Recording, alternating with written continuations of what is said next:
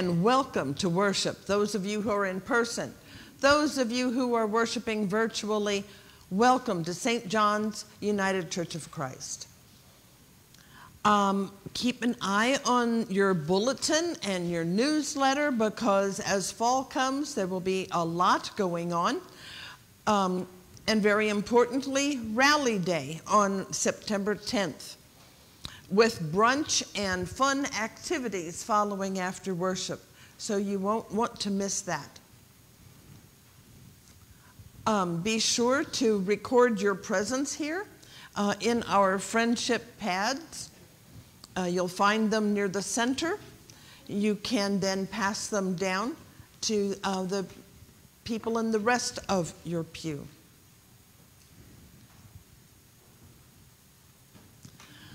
We are the people of God who have answered the call to be here this morning. Many of you have greeted each other on the way in, downstairs in the fellowship hall. But this greeting, this time in worship, is a little different. This is recognizing the fellow members of this community of faith, recognizing Christ in you and Christ in me. So I invite you to stand, greet one another, and pass the peace of Christ.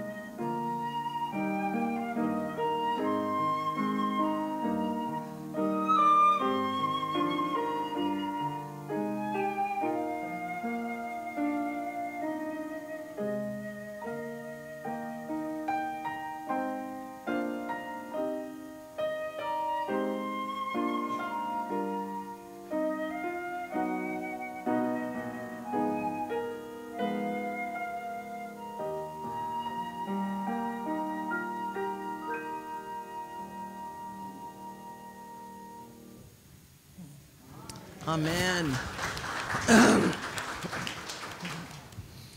Good morning. Would you please rise if you're able and join me in the call to worship? Our help is from God, who made heaven and earth. Come to, the, come to worship the one who hears all our prayers. If God were not on our side, we could, We could not, not live. live. If, God, were not for us, we would be swept away. God has gifted each one of us in unique ways. In our variety, we complement one another. We rejoice in God's love and faithfulness. Blessed be our God, whose word is true. In thankfulness, we bring our joyous songs. We are here to pay attention to God's instructions. We are here seeking to discern God's will. We are open to God's transforming spirit.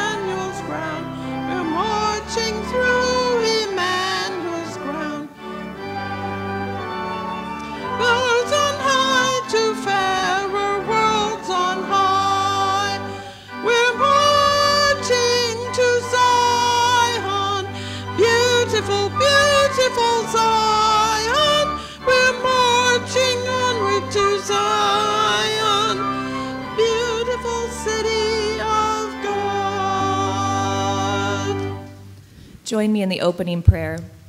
Good and faithful God, meet us in this place. In, this, hour, we pray. Comfort, and confront us.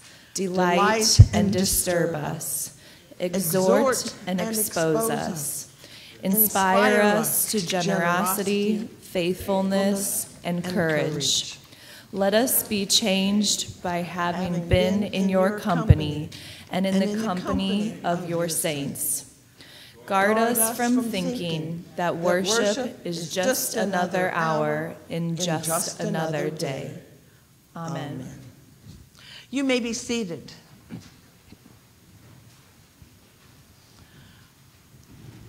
Are there any children here this morning? Let me double check. Okay, I had an interesting um, thing here ready for them, but it will save and be good on another day. So let's move on to special music.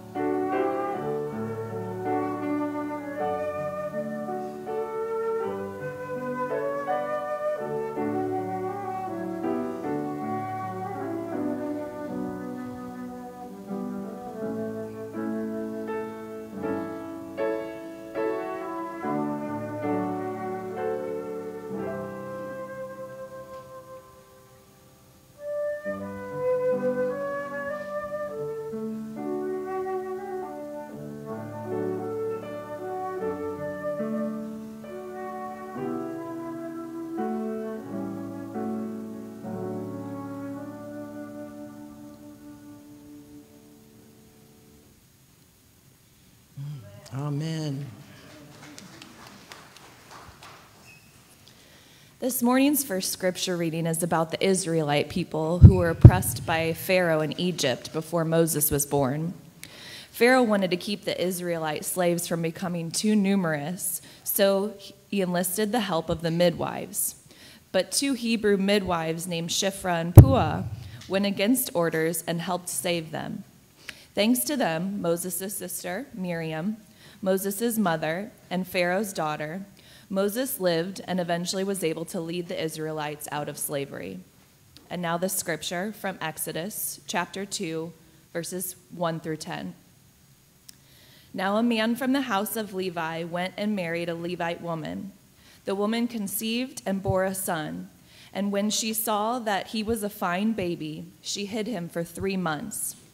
When she could hide him no longer, she got a papyrus basket for him and plastered it with bitumen, and pitch. She put the child in it and placed it among the reeds on the banks of the river. His sister stood at a distance to see what would happen to him. The daughter of Pharaoh came down to bathe at the river, while her attendants walked beside the river. She saw the basket among the reeds and sent her maid to bring it. When she opened it, she saw the child. He was crying, and she took pity on him. This must be one of the Hebrews' children, she said. And then his sister said to Pharaoh's daughter, Shall I go and get you a nurse from the Hebrew women to nurse the child for you? Pharaoh's daughter said to her, Yes. So the girl went and called the child's mother. Pharaoh's daughter said to her, Take this child and nurse it for me, and I will give you your wages. So the woman took the child and nursed it. When the child grew up, she brought him to Pharaoh's daughter, and she took him as her son.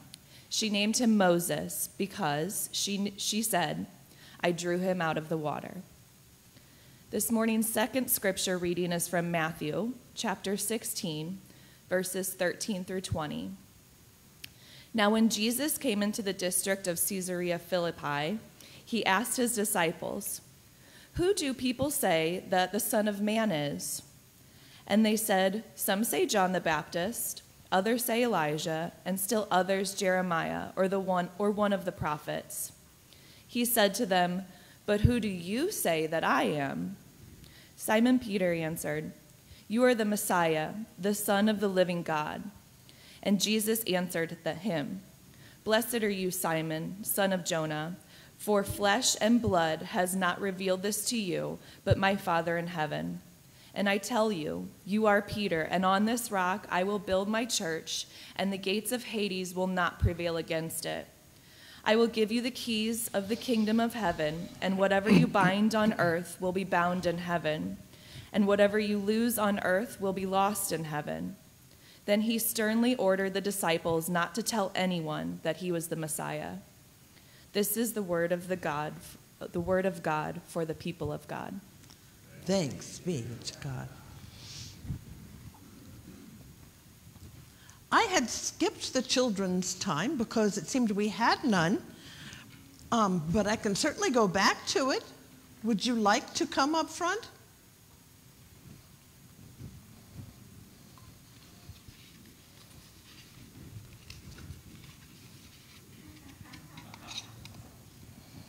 Hi.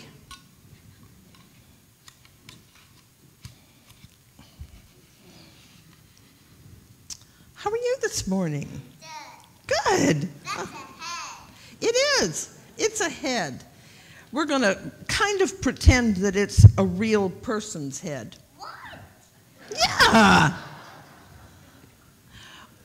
So, we're going to talk about learning facts like can you say your ABCs? Mm-hmm. All right, so that's something that you learned. So when you learn, somebody says to you, you need to learn your ABCs, it's like you take this set of facts and you put them into this head. And so they go down in there. Or you're, you're learning how to, oh, I know, how about 2 plus 2? Do you know what 2 plus 2 is? Two. Close. You- exactly. You take 2 and you add 2 more and you get 4. That's math facts. You, you have to learn those facts. They just all disappear into your head like that. Now, when we learn about Jesus, it's a little different. There are facts like Jesus lived in the area of Nazareth. Okay, there's a fact that we learn, and so that goes into our heads. Let's see, what else? Do you know something else about about Jesus that's just a fact? How about not he, he's not here anymore with us, is he? Not as a person. How about Jesus was born in a manger in Bethlehem? There's a fact that we know that we celebrate on Christmas. So there's some facts that just go into our head.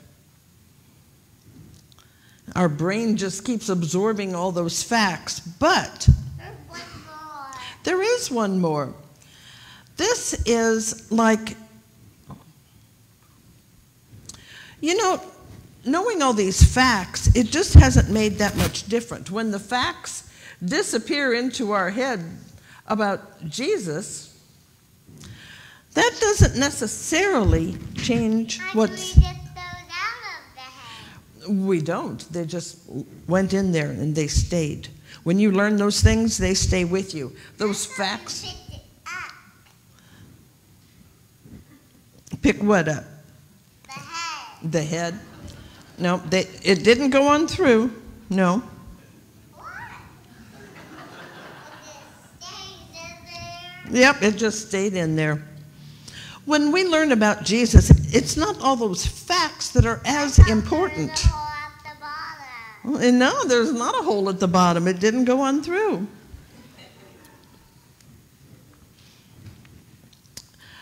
What's important to us is Jesus changes our hearts. Jesus helps us know about God. And Jesus stays with us in our hearts all the time. And that's more important than those facts, is that no matter what, Jesus said, God loves you. God loves all the people. Those are some things that stay with you in your heart, and that's more important. Um, did you want to know the secret? Because I never like to claim that I know magic. So if you want to know the secret, don't touch. There's a special chemical in there, and it absorbed it absorbed the styrofoam and just kind of melted it down. See, magic would be more exciting, but um, God gave us science too. And this is kind of science to know that that chemical does that. And so that it's important to know that it's science and I don't do magic, okay? Okay. Thank you for coming.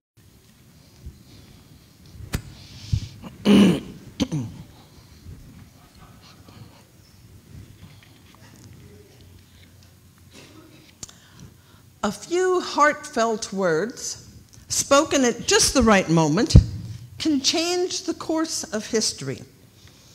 On a TED radio hour one time, I heard a young woman, I heard about a young woman's letter to the speaker who was on the TED stage. and she had met this speaker at her college. I'll just call her Jane. She said that she and her parents had traveled to the college that she was planning to attend. But Jane was terrified, unable to sleep the night before, worried she wasn't college material, worried that she would fail. So she said to her parents, I don't think I can do this. I'm not ready. I think we should just go home. So Jane's parents suggested that she try just that first day including the orientation session. And if she still felt that way, she did not have to stay, they would take her home. As they stood in line to go in for this orientation, a man, one of the professors at the college, came out dressed in a silly hat and holding a bunch of lollipops. He looked around, He met Jane's eyes, probably saw all that trepidation she was feeling. So he handed a lollipop to the man across from her in the aisle. And he said, I really think you should go and give this lollipop to that young woman over there. Well, the young man was kind of embarrassed, but he did. He went over and handed her the lollipop. And then this college professor who had announced his presence with a silly hat and everything said out loud so that her parents and everybody around would hear, Oh my gosh, it's the very first day of college, and already she's taking candy from strangers. so everyone laughed, including Jane, and she was able to put aside some of her anxiety. The embarrassed man who had given her the lollipop laughed too. The tension was broken. Now, the letter we were hearing in that hour uh, was from Jane to this professor, the lollipop man. And she thanked him because in that moment of laughter, she lost some of her fear of failure and she decided to stay and attend college. And so her life was changed. After reading the letter on the TED stage, though, the lollipop, the lollipop man admitted the thing is that I have absolutely no memory of that day or of that young woman. Great moments are born from great opportunity, even though we don't always recognize those great moments as they come along. But a few heartfelt words, spoken at precisely the right moment, can change the course of history. The Hebrew scriptures that we heard this morning told about the beginning of Moses' life. Pharaoh told the midwives to get rid of all the Israelite baby boys, but the midwives saw an opportunity to follow God's will rather than Pharaoh's, and they let the boys live. Pharaoh's daughter recognized the baby in the basket as a Hebrew child, but chose to protect the child and raise it in the palace as her own. Okay, so neither the midwives nor Pharaoh's daughter actually gave a speech or said any words that we know of, but it was a couple of small actions at just the right moment that changed the course of history. Great moments are born from great opportunity. Jesus created such an opportunity for his disciples as they traveled. We know from previous scripture that Jesus had been seeking some quiet time, some vacation time. And maybe that was what was going on here because this was a private conversation that Jesus was having with his disciples. And Jesus asked them, Who do people say that the Son of Man is? And the disciples reported what they had heard. Some say John the Baptist, others say Elijah, some say it was Jeremiah or one of the prophets. That's the word on the street. But who do you say that I am? Jesus asked them, making the question personal. I can imagine the disciples beginning to kind of mumble some answers and talk among themselves. They had seen him heal, They'd seen him feed crowds of people. Maybe he is the prophet Elijah. Um, maybe he's a carpenter from Nazareth who's just extraordinarily wise. Uh, what are we going to do? How do we answer this question? But one voice rang out clearly. Simon Peter said, You are the Messiah, the Son of the living God. A great moment born from a great opportunity. Peter makes a declaration about Jesus that changes the course of Peter's life and the history of the Christian community. It begins with a few heartfelt words spoken at just the right moment. A great speech. Well, maybe it wasn't a speech in the uh, technical sense of the word, more like the greatest comment ever made or just the greatest answer ever given. but it was powerful. So, what makes Peter's statement so powerful? The greatest of speeches or comments or answers are given by the right person at the right moment with the right vision and understanding. All of this is true for Peter when he makes his declaration about Jesus, although Peter did not know it at the time. And I believe those opportunities come to us now and then and we have the chance to be the right person at the right moment. And it can change someone's life, even if we never find out that it happened. Think about Peter. He was the right person, but he was not an extraordinary person. He has some strengths, he had some weaknesses. He was likely to jump into the water without weighing the consequences, and his faith wavered now and then. He was quite likely to put his foot in his mouth, and he would stumble badly when he denied Jesus on, at, on the night of the trial. But because Peter is so very human, just like any of us, he was the right person to make a declaration about Jesus. And he spoke at the right moment. At this point in the Gospel of Matthew, Jesus was nearing the end of his ministry in Galilee, and soon he would head toward Jerusalem and face the suffering and death that awaited him there. But first, he needed to make sure that his disciples were clear about who he is and what the community of his followers would look like. This time in Philippi, in this quiet time, it was the right moment for Peter to speak. When he made that statement, he had the right vision. He sensed that Jesus was not just a prophet and not a man like John or the prophets that came before him. No, with the help of God, Peter could suddenly see clearly that Jesus is the Messiah, the one who had been anointed by God. And literally, that's what Messiah means in Hebrew anointed, a title usually attached to a king. So Peter considered Jesus to be his king, the one who brings the kingdom of God into the middle of human life. On top of this, Peter had the right understanding. He grasped that Jesus is the Son of the living God, the one who knows and shows God's divine power and love more clearly than anyone else. Jesus was impressed that Peter would come up with those words at that time. So impressed that he said to Peter, Good for you, Simon, son of Jonah.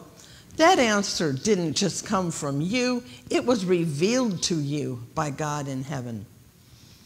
Jesus saw that Peter's declaration was a pure gift of God and he was thankful for it. You are Peter, he said, and on this rock I will build my church. And that church will be so strong that death itself will not overcome it. And Jesus concluded by giving Peter the keys to the kingdom of heaven with authority to bind and loose, which means that Peter now had the authority to be the chief teacher in the church. It is in this statement about Peter having the keys to the kingdom of heaven that it resulted in so many of our sayings, jokes, pictures about Peter at the gate to heaven, the one you meet at the pearly gates. But in fact, the keys to the kingdom here were all about teaching. And the, the, the fact of the kingdom itself was a time when God's will would be done on earth rather than speaking of some place in the sky. Peter was given authority to teach in the name of Jesus and to share his grace and truth with the world, just as the church continues to do today. So, what can we do to follow the example of Peter in being the right people at the right moments, sharing the right vision and understanding, remembering that great moments come from great opportunity. But I believe that often these great moments are from little minor opportunities that we will miss if we aren't careful. When a child asks, Why are you praying? That could be an opportunity for you to change the life of that child. When someone says, Why would you get up and go to church on a Sunday morning when you could stay at home and relax? Then you are given an opportunity to change the world. When a discussion starts about racism in our city and in our nation, you may have the opportunity to talk about all people being children of God, and you could change the course of history. You could be the one spotted doing a kindness for a neighbor that influences someone else to do the same. Each of us has great opportunities now and then to play the role of Peter in the world today. We are the right people to say, yes, Jesus is our Messiah. We are the people who honor Jesus as the Prince of Peace the students and teachers who grasp that Jesus is the truth. We are people who have seen that our relationship with God is what gets us through hard times. So we can speak at the right moments. When a person is struggling and needs a word of encouragement, when a conflict erupts and could be diffused by a message of reconciliation, when a child needs a word of guidance or of love. The right vision focuses on Jesus as our sovereign, the one who rules over us with perfect guidance, grace, and love. He is the master that we can serve with our time, our abilities, and our money. He is the Lord who gives us directions as we make decisions if we just ask for the help. Jesus has shown us what perfect love is and led us to our loving God. We who have grown up in the faith have an understanding of Jesus because we see he's in a close and intimate relationship with God who is alive and well and active in human life. When we see the character of Jesus, we get a better understanding of God and get a glimpse of the grace and truth of our Creator. Peter was given an opportunity to speak about Jesus, and he turned it into the greatest ever. He didn't miss his moment, and neither should we. Amen. Will you stand if you are able as we sing, Master, let me walk with thee?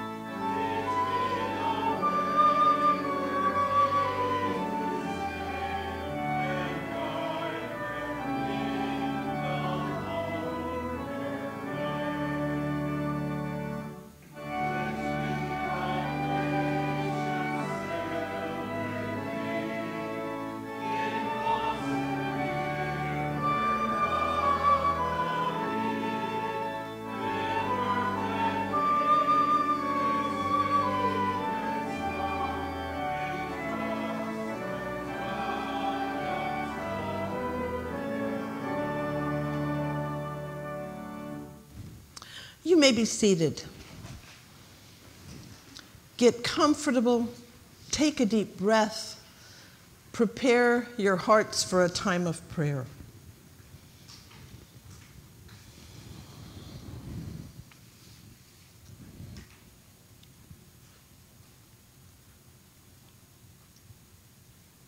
Loving God, we give you thanks for all your gifts to us, for daily food, for health, for each breath we take, for freedom to choose, and for the gifts of your word, your power, and your love. Our hearts are truly overwhelmed, God, when we consider how much you have entrusted to us. May we be worthy of that trust. May we be a people who are unafraid to live as fully and richly as you want us to live.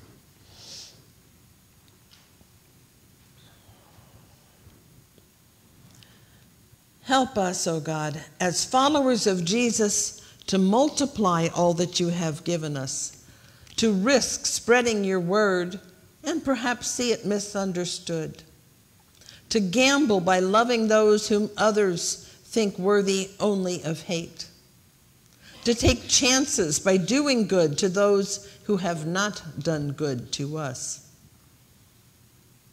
Help us to be faith filled and to desire to increase your glory and your goodness in this world. Make us people who share in both word and deed all that you have given to us.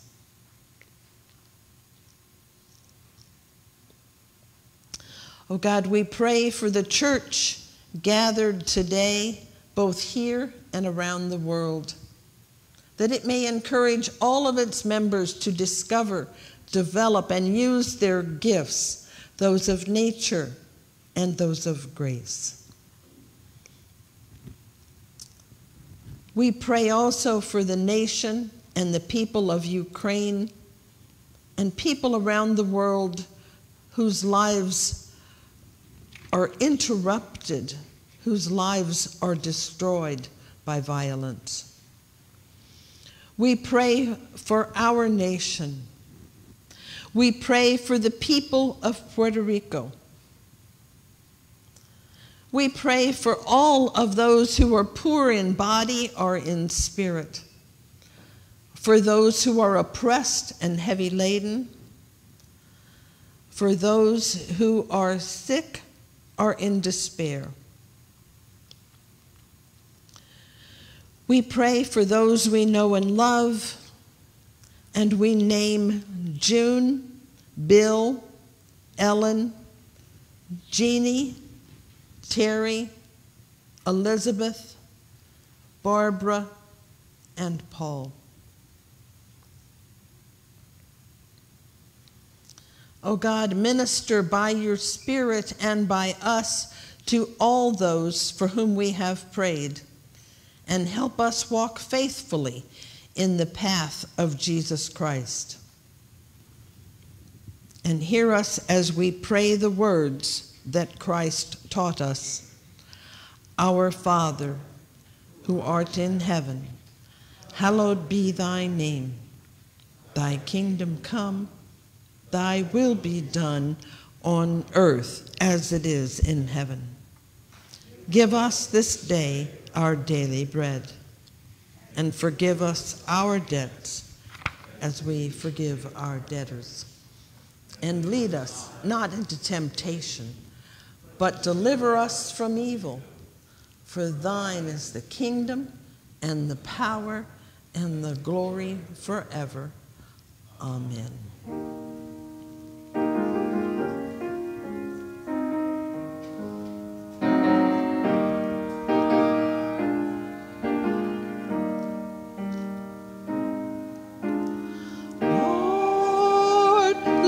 Children praying.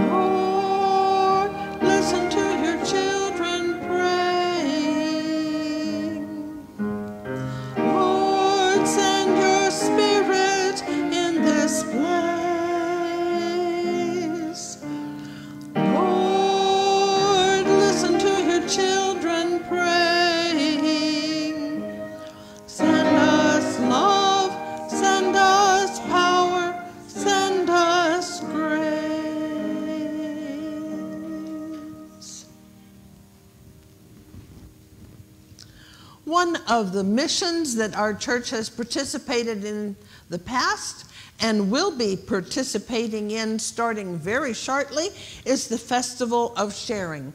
And so we are happy to have Susan and Dennis Hendricks with us this morning. And we will learn more about Festival of Sharing. How about up here with this microphone, if that's okay? Yeah.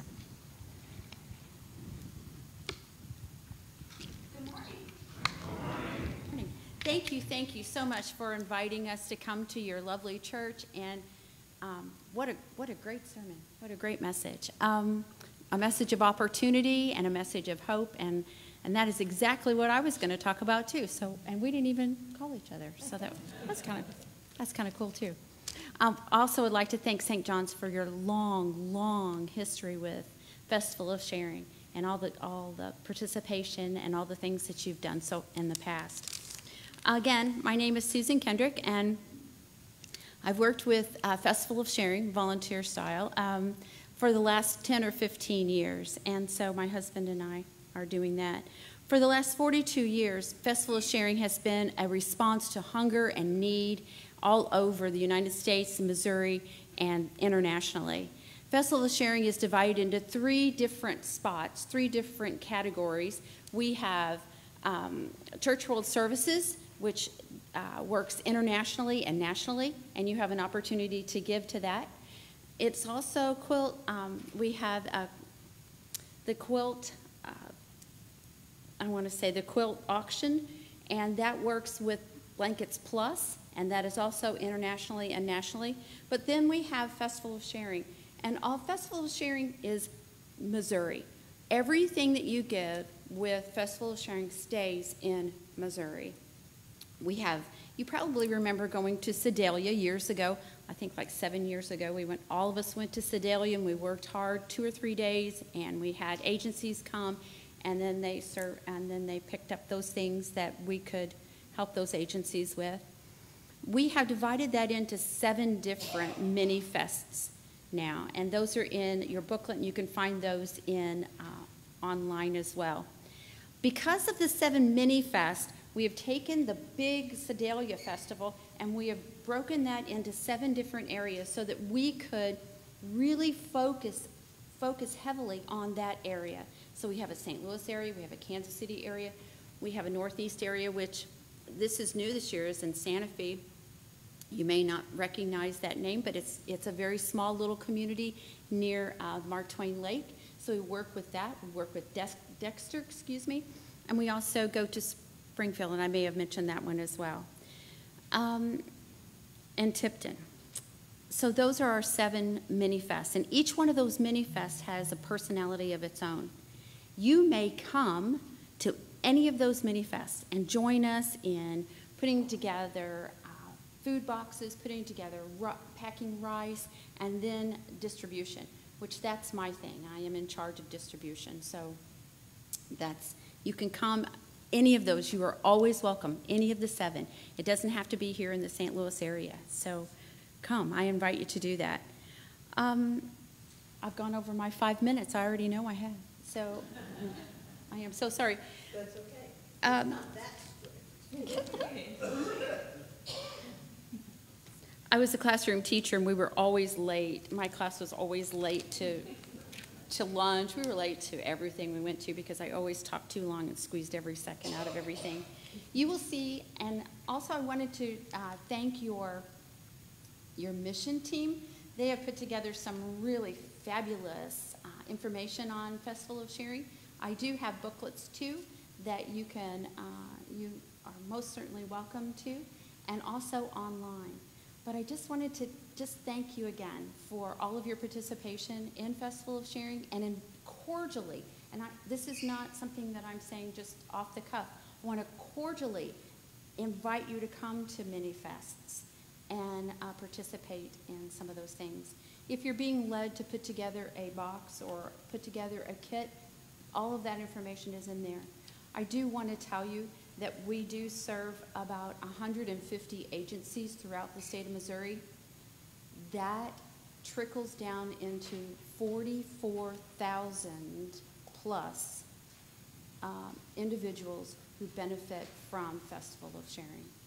44,000, and you were talking about opportunities to make an impact. One food box will feed a family of four for an entire week. That's, that's a huge impact on a family and on a community. So that's just a small thing.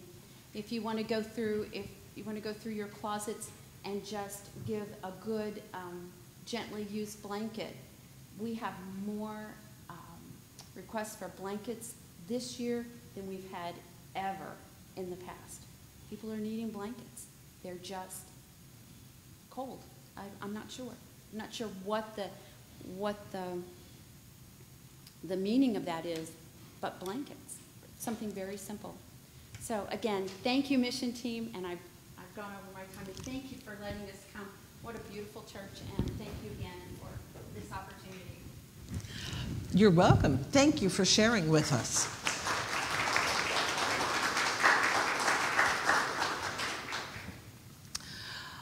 I invite you to celebrate our giving, the many ways that we give, including through Festival of Sharing, by standing if you are able, and we'll sing the doxology.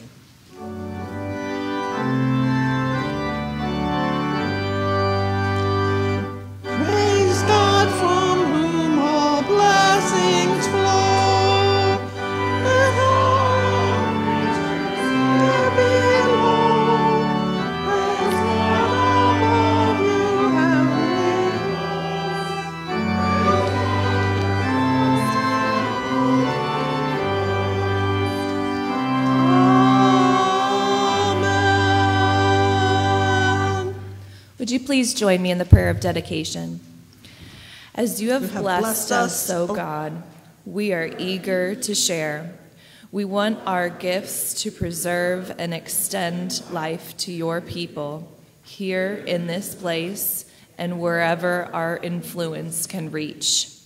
Our gifts of our time, our abilities, and our money are a symbol of the dedication of our whole selves to your will. Amen.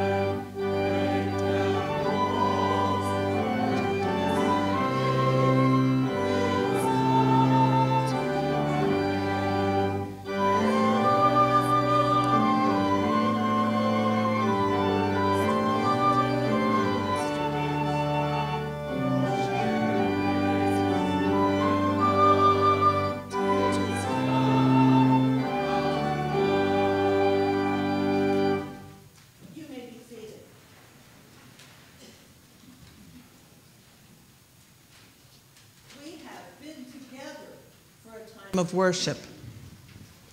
And now we go out finding many ways to serve God and serve one another. Wherever you may go, may you be forever blessed, forever loved, forever cradled in God's arms, forever called by name. Go knowing God's grace, sharing God's peace, living God's justice, bearing God's blessing to all. Amen.